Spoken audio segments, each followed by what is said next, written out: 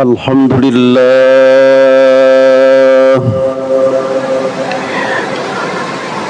الحمد لله الذي لا منع لما أعطى وما معطي لما منع. ولا دافع لما قضى ولا قاضي لما دفع. أحمده سبحانه وتعالى حمد من زرع لدار البقاء فحصد ما زرع. وأشهد أن لا إله إلا الله وحده لا شريك له. شهادة من شهد بالإخلاص وفاز بالخضع يوم الخول والفزع. وأشهد أن محمدا عبده ورسوله الذي فتح باب الزهد والورع وأغلق باب الشرك والطمع.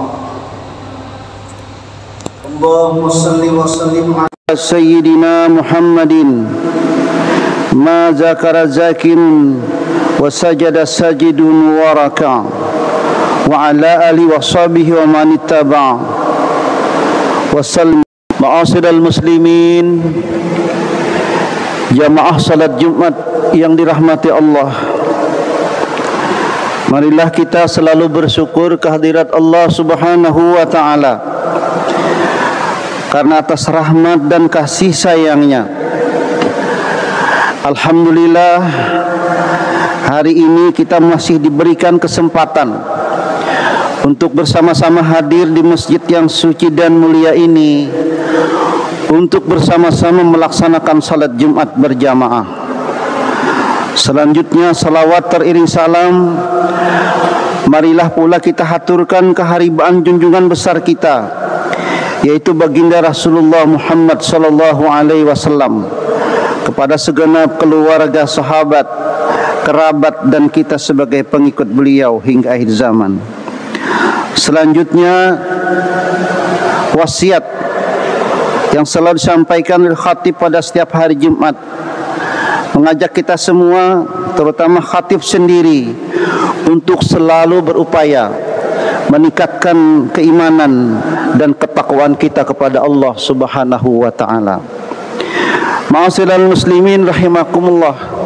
Pada kesempatan khutbah hari ini kami menyampaikan tentang anjuran untuk melaksanakan korban. Ma'asyiral muslimin rahimakumullah. Adapun sebagian ulama berpendapat bahawa berkorban itu wajib sedangkan sebagian lain berpendapat sunat. Adapun yang berpendapat wajib yaitu berdasarkan firman Allah Subhanahu wa taala yang berbunyi Bismillahirrahmanirrahim Inna a'tainakal kautsar fasalli li rabbika wanhar yang artinya sesungguhnya kami telah memberi kepadanya nikmat yang banyak maka dirikanlah salat karena Tuhanmu dan berkorbanlah. Pada hadis yang lain, pada hadis Rasulullah sallallahu alaihi wasallam berbunyi dari dari Abi Hurairah an Abi Hurairah taqala Rasulullah sallallahu alaihi wasallam man wajada sa'atan falam yudhi fala yaqrabanna musallana. Yang artinya dari Abu Hurairah Rasulullah sallallahu alaihi wasallam telah bersabda Barang siapa yang mempunyai kemampuan tetapi ia tidak mau berkorban maka janganlah ia mendekati atau menghampiri tempat salatku. Hadis riwayat Ahmad dan Ibnu Majah. Ma'asyiral muslimin Hadis ini adalah penegasan yang mengandung sindiran kepada orang-orang yang mempunyai kemampuan tetapi ia tidak mau berkorban. Maka dikatakan tidak usah saja mendekati tempat salat kami sedangkan kamu tidak bersyukur dengan melaksanakan ibadah kurban. Kemudian lain kutiba 'alan nahru wa laysa biwajidin 'alaikum. Diwajibkan kepadaku berkurban dan tidak wajib atas kamu. Hadis ini mengandung maksud bahwa Allah Subhanahu wa taala Tuhan yang Maha Pengasih lagi Maha Penyayang bahwa ia hanya mewajibkan kepada orang yang mampu saja tidak kepada orang yang tidak mampu sebagai bukti rasa syukur hamba kepada Allah Subhanahu wa taala atas nikmat yang diberikan dan agar rezekinya ditambah lagi dan lebih berkah. Ma'asyiral muslimin rahimakumullah.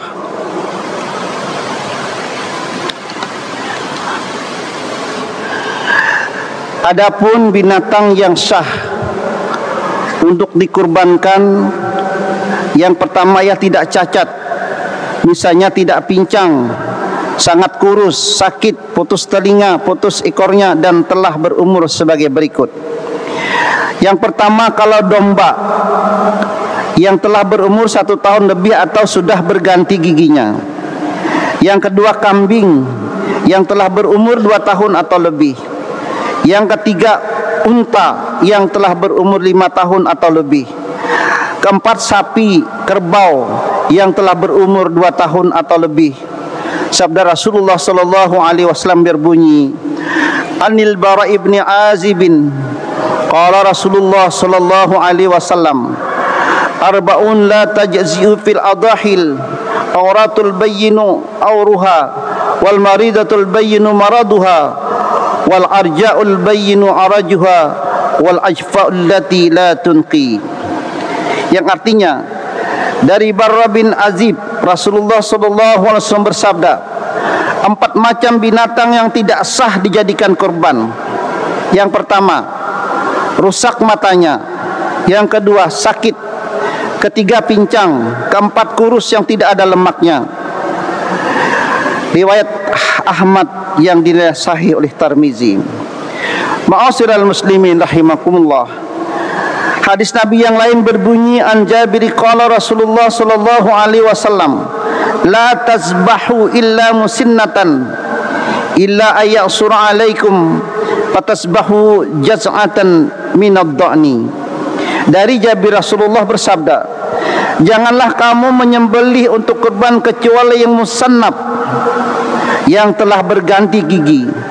Jika sukar didapati, maka boleh yang sudah berumur satu tahun lebih. Hadis riwayat Muslim. Seekor kambing hanya untuk kurban satu orang, dikiaskan dengan denda meninggalkan wajib haji. Tetapi seekor unta, kerbau dan sapi boleh untuk tujuh orang. Ma'asyiral muslimin rahimakumullah. Adapun waktu untuk menyembelih hewan kurban. Waktu menyembelih hewan kurban mulai dari matahari setinggi tombak pada hari raya haji sampai terbenam matahari tanggal 13 bulan haji. Dalam hal ini Rasulullah bersabda, "Man zabaha qabla salati fa inna ma yazbahu li nafsihi wa man zabaha ba'da salati wal khutbataini faqad atamma nusukahu wa asaba sunnatal muslimin. Yang artinya barang siapa menyembelih korban sebelum salat hari raya haji maka sesungguhnya ia menyembelih untuk dirinya sendiri. Dan barang siapa menyembelih kurban sesudah salat hari raya dan dua khutbah sesungguhnya ia telah menyempurnakan ibadahnya dan ia telah menjalani aturan Islam riwayat Bukhari Ma'asyiral muslimin rahimakumullah. Adapun yang dimaksud dengan salat hari raya dalam hadis tersebut ialah waktunya bukan salatnya karena mengerjakan salat tidak menjadi syarat untuk menyembelih korban. Ma'asyiral muslimin rahimakumullah. Kemudian sunat tatkala menyembelih hewan kurban. Waktu menyembelih kurban disunatkan beberapa perkara. Yang pertama, membaca bismillahirrahmanirrahim. Yang kedua, membaca salawat atas Nabi. Yang ketiga, takbir membaca Allahu Akbar. Yang keempat, berdoa supaya kurban diterima Allah seperti ya Allah Ini perbuatan dari perintahmu Saya kerjakan karenamu Terimalah olehmu amalku ini Kemudian binatang yang disembeli itu hendaknya dihadapkan ke kiblat. Ma'asyiral muslimin Allah. Rasulullah sallallahu alaihi wasallam bersabda Qala Rasulullah sallallahu alaihi wasallam inda tahiyatan Allahumma taqabbal min Muhammadin wa ali Muhammadin wa min ummati Muhammadin. Yang artinya Rasulullah sallallahu alaihi wasallam tatkala berkurban telah mengucapkan ya Allah terimalah kurban Muhammad keluarga dan umatku riwayat Ahmad dan Muslim. Ma'asyiral muslimin rahimakumullah. Adapun apabila seorang bernazar akan menyembelih kurban maka hal itu menjadi wajib kepadanya sebagaimana nazar-nazar yang lain. Dan dia wajib menyedekahkannya menyedekahkan semuanya. Tak boleh dimakannya dan tidak boleh dijualnya meskipun kulitnya. Adapun tujuan berkorban tujuan berkorban adalah untuk menggembirakan saudara-saudara kita yang tidak mampu di hari raya haji. Sebagaimana di hari raya, hari raya Idul Fitri mereka digembirakan dengan zakat fitrah. Oleh karena itu daging korban hendaklah disedekahkan kecuali sedikit. Sunat dimakan oleh yang berkorban. Korban tidak boleh dijual sekalipun hanya kulitnya. Ma'asyiral muslimin rahimakumullah. Inilah khutbah yang disampaikan pada kesempatan hari ini. Semoga kita termotivasi dan dapat melaksanakannya untuk melaksanakan sunnah ibadah kurban. Dan semoga Allah Subhanahu wa taala memberikan keluasan rezeki kepada kita. Dan jika kita tahun ini belum mampu untuk melaksanakan sunnah kurban, semoga tahun-tahun yang akan datang kita dapat melaksanakannya. Semoga Allah Subhanahu wa taala memberikan kita umur panjang penuh berkah, diberikan kesehatan dan keafiatan dan diberi keluasan rezeki dan dimudahkan dalam segala urusan khususnya dalam beribadah untuk melaksanakan ibadah kurban. Amin ya Allah ya rabbal alamin. Alhamdulillah. Wassalatu wassalamu ala Rasulillah Muhammad ibni Abdullah أشهد أن لا إله إلا الله وحده لا شريك له. وإذا قرئ القرآن فاستمعوا له وأنصتوا لعلكم ترحمون. أعوذ بالله من الشيطان الرجيم. بسم الله الرحمن الرحيم. إن الله أجمعين. الحمد لله الذي الحمد لله وفقنا لآل الجمعة والجماعات. أشهد أن لا إله إلا الله وحده لا شريك له رب الأراضين والسماوات. وأشهد أن محمدا عبده ورسوله المؤيد في أفضل الآيات المعجزات. اللهم صل وسلم على سيدنا محمد وعلى آله وصحبه ما تعاقبت الأوقات والساعات. أما بعد فيا أيها المسلمون اتقوا الله حق تقاته وحافظوا على الطاعة وخذوا للجمعة والجماعات. قال تعالى يا أيها الذين آمنوا إذا نودي للصلاة من يوم الجمعة فاسعوا إلى ذكر الله وذروا البيع. ذلكم خير لكم إن كنتم تعلمون. فإذا قضيت الصلاة فانتشروا في الأرض وابتغوا من فضل الله. واذكروا الله كثيرا لعلكم تفلحون. واعلموا الله بأمر بدأ فيه بنفسه وسنى بملائكة المسبحة بقدسه ولم يزل قائلا عليما. إن الله وملائكته يصلون على النبي. يا أيها الذين آمنوا صلوا عليه وسلموا تسليما. اللهم صل على سيدنا محمد وعلى آله وصحبه والتابعين وارض عنا معهم برحمتك يا أرحم الراحمين. اللهم اغفر للمؤمنين والمؤمنات والمسلمين والمسلمات الأحياء منهم والأموات. إنك سميع قريب مجيب الدعوات وقاضي الحاجات.